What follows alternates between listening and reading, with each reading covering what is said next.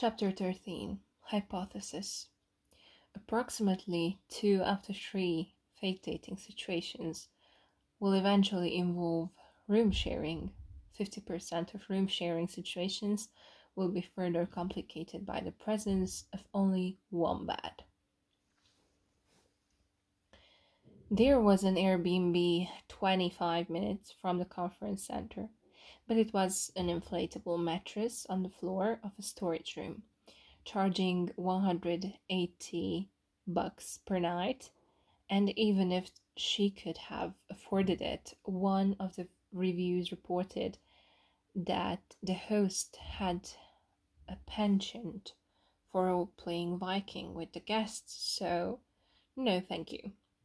She found a more affordable one 45 minutes away by subway, but when she went to reserve the room, she discovered that someone had beaten her to it by mere seconds, and she was tempted to hurl her laptop across the coffee shop.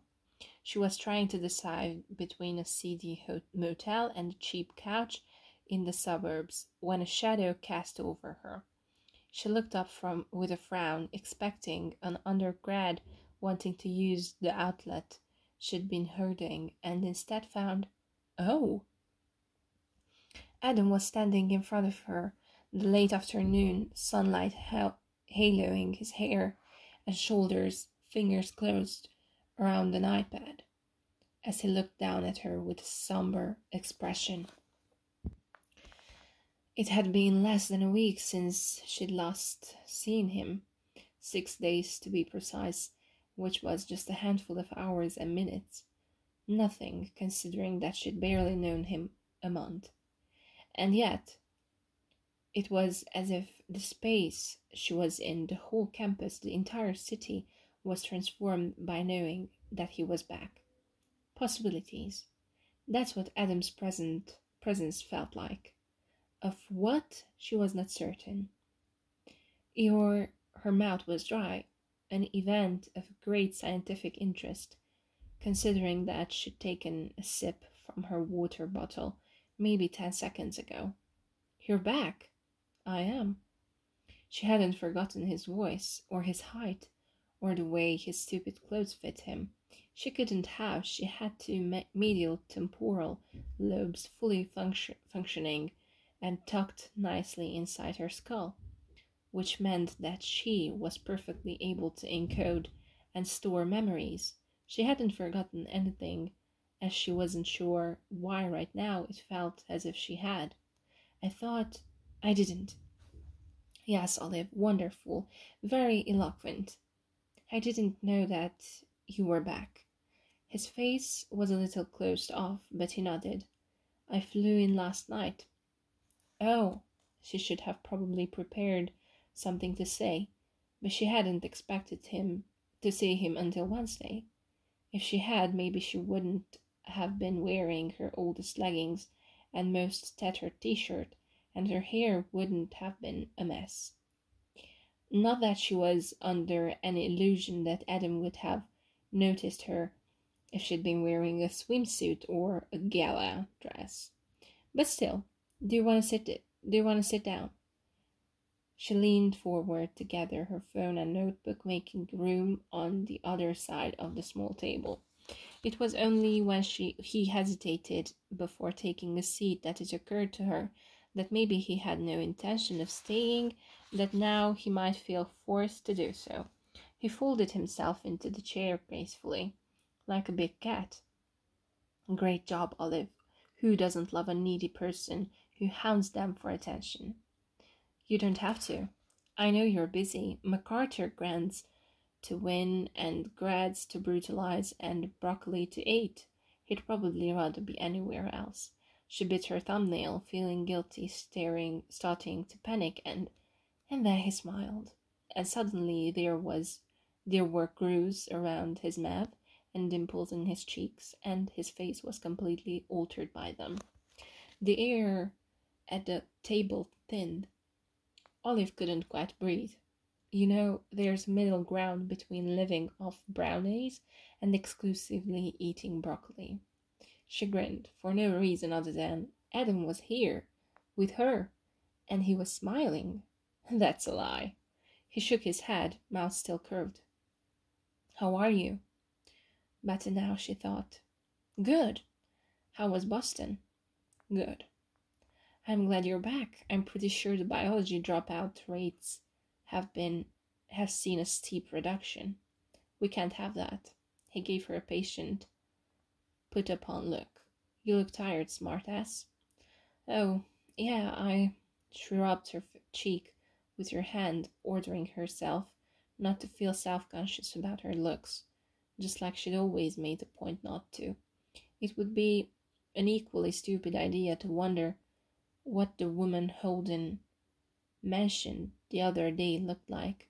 Probably stunning, probably feminine, with curves, someone who actually needed to wear a bra, someone who was not half covered in freckles, who had mastered the art of applying liquid eyeliner without making a mess of herself. I'm fine. It's been a week, though. She massaged her temple. He cocked his head. What happened? Nothing. My friends are stupid and I hate them. She felt instantly guilty and made a face. Actually, I don't hate them. I do hate that I love them, though. Is this the sunscreen friend? Anh. The one and only. And my roommates, too, who really should know better. What did they do? They. Olive pressed into both eyes with her fingers. It's a long story. They found alternative accommodations for CBD, which means that now I have to find a place on my own. Why did they do that? Because she briefly closed her eyes and sighed. Because they assumed that I'd want to stay with you, since you're my, you know, boyfriend. He went still for a couple of seconds and then, I see. Yeah, a pretty bold assumption, but she spread her arms and shrugged. He bit the inside of his cheek, looking pensive.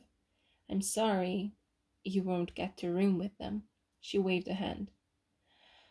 Oh, that's not it. That would have been fun, but it's just that now I need to find something else nearby, and there are no affordable options.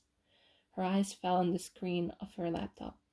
I'm thinking of booking this motel that's an hour away, and won't they know? She looked up from the gra- grainy, shady looking picture of the place. Hmm? Won't Anh know that you're not staying with me? Oh. Where are you staying? The conference hotel. Of course. Well, she scratched her nose. I wouldn't tell her. I don't think she'll pay too much attention. But she'll notice if you're staying one hour away. I yeah. They would notice and ask questions, and Olive would have to come up with a bunch of excuses and have more half truths to deal with. Add a few blocks to this Yenga tower of lies she'd been building for weeks. I'll figure it out. He nodded slowly. I'm sorry. No, it's not your fault. One could argue that it is, in fact, my fault. Not at all. I would offer to pay for your hotel room, but I doubt there's anything left in the 10 mile radius. Oh no. She shook her head emp- emphatically. And I wouldn't accept it. It's not a cup of coffee, and a scone, and a cookie, and a pumpkin frappuccino. She batted her eyes with him at him and leaned forward trying to change the topic. Which by the way is new on the menu. You could totally buy it for me, and that would make my day. Sure, he looked slightly nauseous. Awesome, she grinned. I think it's cheaper today, some kind of Tuesday sale, so. But you could room with me. The way he put it forward, calm and sensible, almost made it sound like it was no big deal, and Olive almost fell for it, until her ears and brain seemed to finally connect with each other and she was able to process the meaning of what he'd just said. That she could room with him. Olive knew full well what sharing quarters with someone entailed, even for a very short period, sleeping in the same room, then seeing embarrassing pajamas taking turns to use the bathroom, hearing the swish of someone trying to find a comfortable position under the sheets loud and clear in the dark.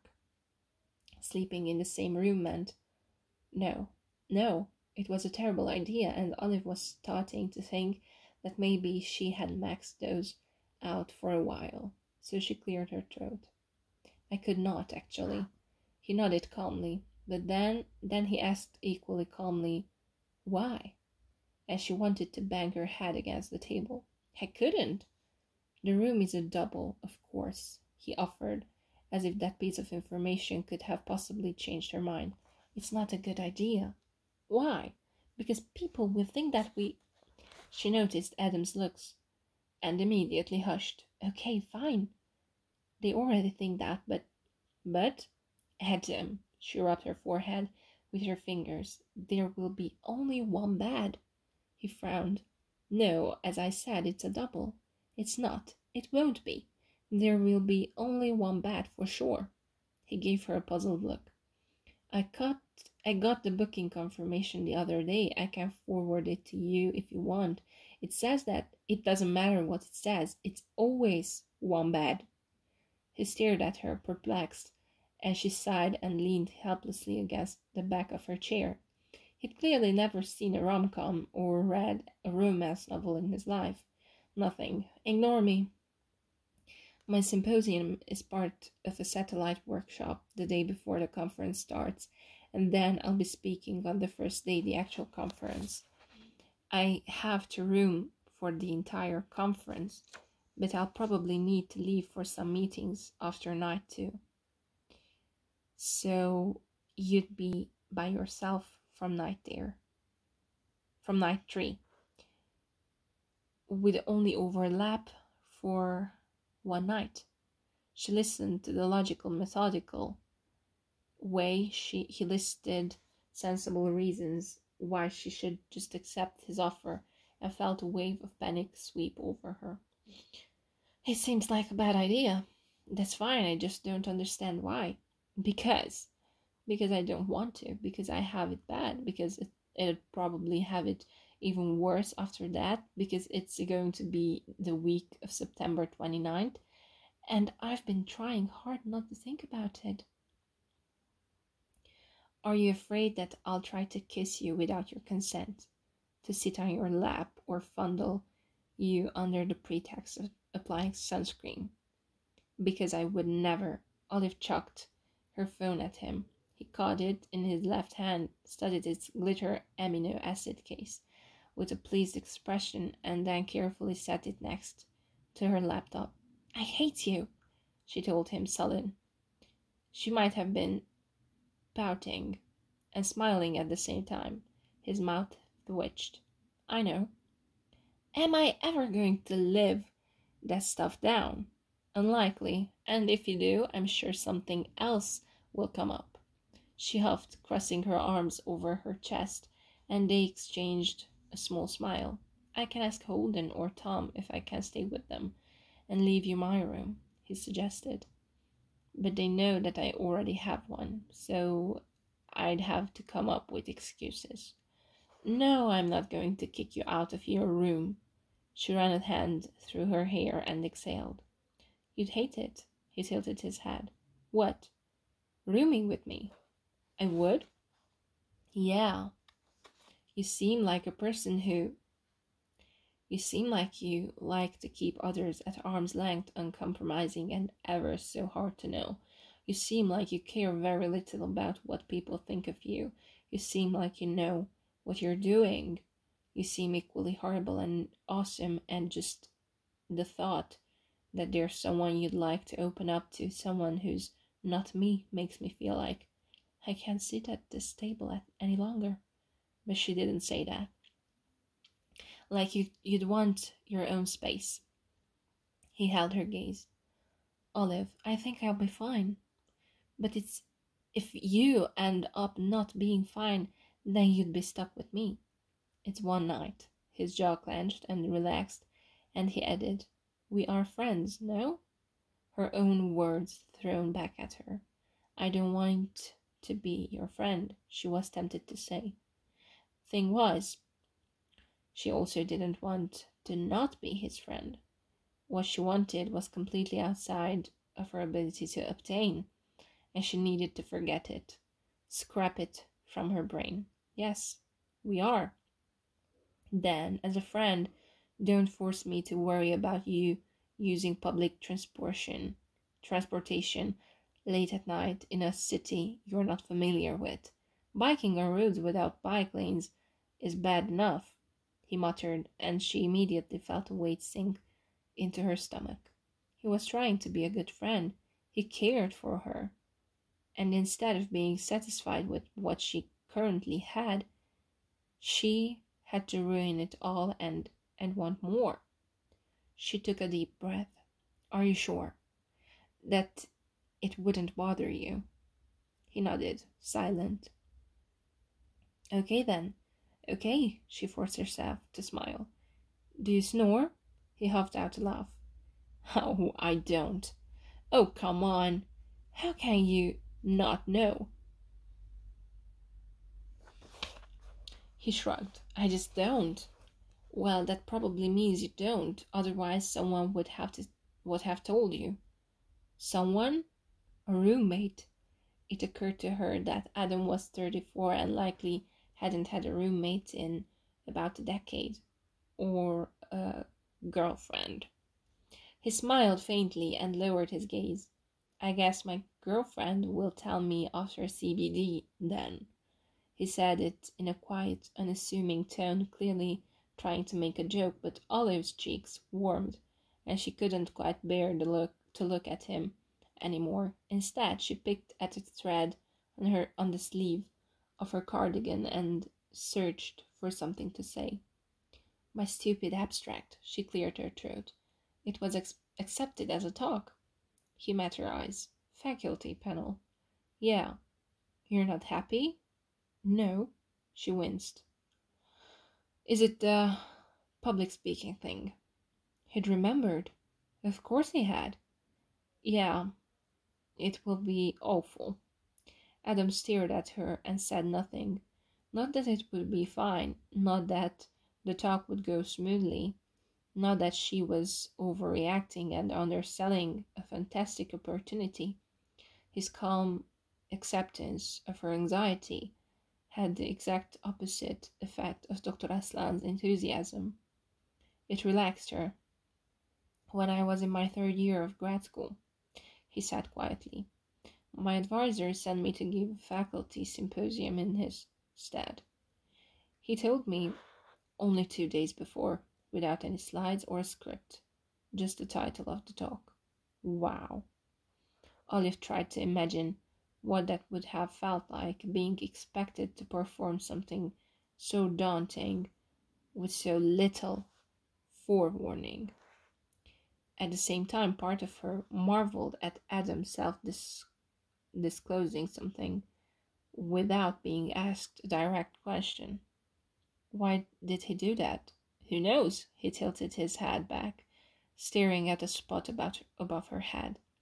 His tone held a trace of bitterness because he had an emergency, because he thought it'd be a formative experience, because he could. Olive just bet that he could. She didn't know. Adam's former advisor, but academia was very much an old boys club, where those who had the power liked to take advantage of those who didn't without repercussions. Was it a formative experience? He shrugged again as much as anything that keeps you awake in a panic for 48 hours straight can be. Olive smiled. And you, did you do? And how did you do? I did. He pressed his lips together.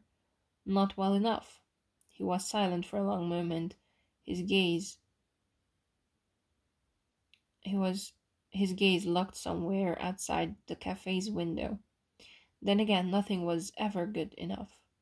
It seemed impossible that someone might look at Adam's scientific accomplishments and find them lacking, that he could ever be anything less than the best at what he did. he was why he was so severe in his judgment of others? Because he'd been taught to set the same impossible standards for himself. Do you still keep in touch with him? Your advisor, I mean. He's retired now. Tom has taken over what used to be his lab. It was such an uncharacteristically opaque, carefully worded answer. Olive couldn't help being curious. Did you like him? It's complicated. He rubbed a hand over his jaw, looking pensive and far away. No, no, I didn't like him. I still don't. He was. It took him so long to continue. She almost convinced herself that he wouldn't, but he did, staring at the late afternoon sunlight disappearing behind the oak trees. Brutal. My adviser was brutal. She chuckled, and Adam's eyes darted back to her face, narrow with confusion. Sorry. She was still laughing a little. It's just funny to hear your complain about your old mentor because because because he sounds exactly like you. I'm not like him, he retorted more sharply than Olive had come to expect from him. It made her snort. Adam, I'm pretty sure that if we were to ask anyone to describe you with one word, brutal would come up one or ten times. She saw him stiffen before she was even done speaking, the line of his shoulders suddenly tense and rigid, his jaw tight and with a slight twitch to it. Her first instinct was to apologize, but she was not sure for what. There was nothing new to what she just told him. They discussed his blunt, uncompromising, mentoring style before, and he'd always taken it in stride, owned it even. And yet his fists were clenched on the table and his eyes were darker than usual. I, Adam, did I? She stammered, but he interrupted her before she could continue. Everyone has issues with their advisors, he said, and there was a finality to his tone that warned her not to finish her sentence not to ask what happened, where did you just go? So she swallowed and nodded. Dr. Aslan is. She hesitated. His knuckles were not quite as white anymore, and the tension in his muscles was slowly dissolving. It was possible that she'd imagined it. Yes, she must have. She's great. But sometimes I feel like she doesn't really understand that I need more guidance support, some practical advice instead of blind encouragement. But she didn't say that. I'm not even sure what I need myself. I think that might be part of the problem. I'm not very good at communicating it. He nodded and appeared to choose his words carefully. It's hard, mentoring. No one teaches you how to do it. We're trained to become scientists, but as professors, we're also in charge of making sure that students learn to produce rigorous science. I hold my grads accountable, and I set high standards for them. They're scared of me, and that's fine. The stakes are high, and if being scared means that they're taking their training seriously, then I'm okay with it. She tilted her head. What do you mean? My job is to make sure that my old graduate students don't become mediocre scientists. That means I'm the one who's tasked with demanding what they rerun their experience or adjust their hypotheses. It comes with the territory. Olive had never been a people pleaser, but Adam's attitude toward others' perception of him was so cavalier, it was almost fascinating. You do you really not care? she asked, curious, that your grads might dislike you as a person. No, I don't like them very much either. She thought of Jess and Alex and the other half dozen grads and postdocs mentored by Adam, whom she didn't know very well. The thought of him finding them as annoying as they found him despotic made her chuckle. To be fair, I don't like people in general. Right. Don't ask, Olive. Do not ask. Do you like me? A millisecond of hesitation as he pressed his lips together. No, you're a smart ass with abysmal taste in beverages. He traced the corner of his iPad, a small smile playing on his lips. Send me your slides. My slides? For your talk, I take a look at them. Olive tried not to gape at him. Oh, you. I- I'm not your grad. You don't have to. I know. You really don't have to. I want to, he said, voice pitched low, and even as he looked into her eyes, and Olive had to avert her gaze because something felt too tight in her chest. Okay, she finally managed to snap out the loose thread on her sleeve. How likely is it that your feedback will cause me to cry under the shower? That depends on the quality of your slides. She smiled. Don't feel like you have to hold back. Believe me, I don't. Good, great. She sighed, but it was reassuring knowing that he was going to be checking her work. Will you come to my talk? She heard herself ask, and was as surprised by the request as Adam seemed to be. I. Do you want me to? No. No, it's not going to be horrible and humiliating and probably a disaster, and you're going to see me at my worst and weakest.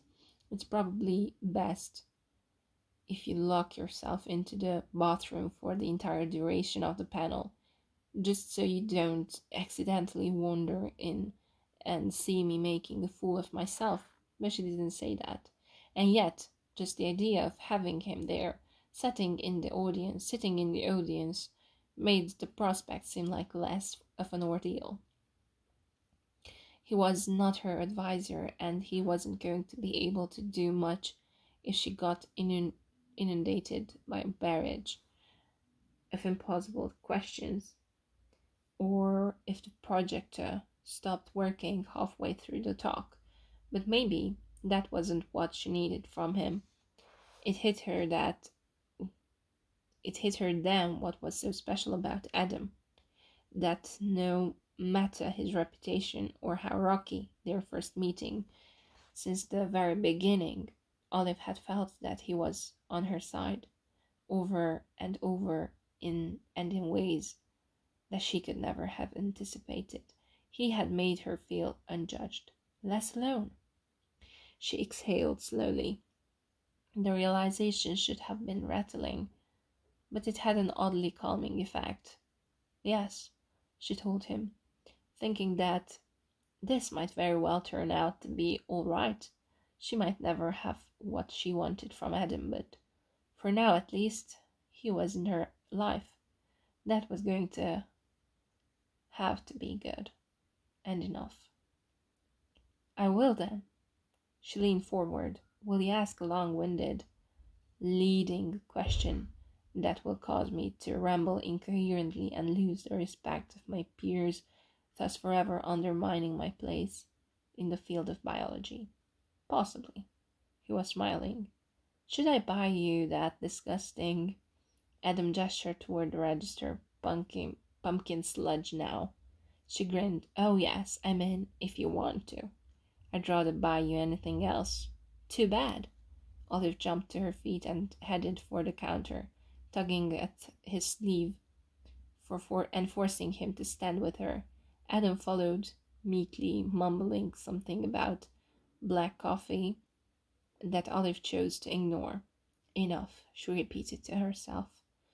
What do you have now? It will have to be